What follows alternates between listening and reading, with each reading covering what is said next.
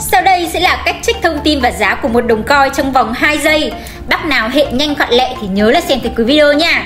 Bình thường ấy, khi mà chúng ta muốn trích giá của một đồng coin nào đó thì sẽ vào sàn giao dịch coin market cap hoặc là coin Gecko đúng không? Nhưng mà đối với dân chơi crypto ấy thì thường là họ sẽ trích giá trong vòng 2 giây qua một công cụ sau đó. Đó chính là Telegram. Các nhá, chỉ cần vào phần tìm kiếm Telegram, gõ pancake gạch dưới VN gạch dưới post. Sau đó chúng ta sẽ gõ lệnh start nha. Muốn trích giá một đồng coin nào đó thì bạn gõ gạch chéo pi khoảng trắng tên đồng coin bạn muốn trích.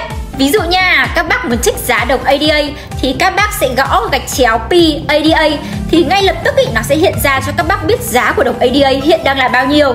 Còn nếu mà các bác muốn biết tỷ giá của USDT trên Việt Nam đồng thì các bác gõ gạch chéo PUSDT thì nó sẽ hiện một USDT theo tỷ giá của Binance P2P đang là bao nhiêu Việt Nam đồng và tỷ giá Vietcombank đang là bao nhiêu đồng nữa. Còn ví dụ nha, các bác đang có 0,2 ETH và muốn biết nó tương đương với bao nhiêu tiền thì không cần phải bấm máy tính đâu nha. Chỉ cần gõ gạch chéo vang 0.2 ETH thì nó sẽ hiện ra cho các bác là bao nhiêu USDT này bao nhiêu Việt Nam đồng và bao nhiêu BTC luôn. Ví dụ là mình có 1.000 USDT thì sẽ là bao nhiêu Việt Nam đồng đây? Chỉ cần gõ gạch chéo vang 1.000 USDT là xong nha. Con bot thứ hai mà mọi người hay dùng, đó chính là Coin Bấm tìm kiếm search Coin sau đó gõ gạch chéo start tương tự như bên kia muốn trích giá đồng uni chẳng hạn, thì các bác có thể là gõ gạch chéo p uni thì nó hiện ngay cho các bác tên này rồi thì à, đồng coi xếp hạng thứ bao nhiêu trên coi Gecko này? Giá là bao nhiêu nữa? Áp ở đây là hai nha.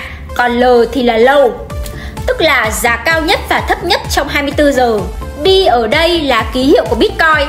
Còn ba dấu gạch ngang này ý, thì sẽ là ký hiệu của Ethereum cho những các bác chưa biết nha. Volume ý là khối lượng giao dịch của đồng coin và market cap thì sẽ là vốn hóa của đồng coin là bao nhiêu. Một số lệnh khác ý, mà các bác có thể thử như là gạch chéo C, ETH để các bác xem chart của đồng coin này bằng biểu đồ. Bấm gạch chéo trending để xem top những đồng coin được tìm kiếm trên CoinGecko nha. Thử lệnh gạch chéo index là top 10 đồng coin trên market cap. Bấm gạch chéo cap để xem số liệu toàn bộ thị trường crypto vốn hóa đang là bao nhiêu này. À, gạch chéo best là những đồng gainers nhiều nhất trong vòng 24 giờ qua trong top 100. Tiếp theo, gạch chéo worst là ngược lại, losers trong top 100. Các bác ấy có thể gõ gạch chéo sentiment là thể hiện tâm lý của thị trường tại thời điểm hiện tại. Màu xanh sẽ thể hiện cho grid nha. Lúc này là thị trường đang rất là đẹp. Dân tình FOMO và rất là bullish vào thị trường. Đôi khi đây là thời điểm đáng sợ nhất bởi vì khi mà market cap lên cao trào thì sẽ rất là dễ có những cú điều chỉnh. Và đối với một số bác thì đây sẽ là thời điểm thoát hàng tốt nhất nha. Còn cái màu đỏ ấy tượng trưng cho fear, tức là thị trường lúc này đang rất xấu. Trader đang sợ hãi và dè chừng khi vào lệnh.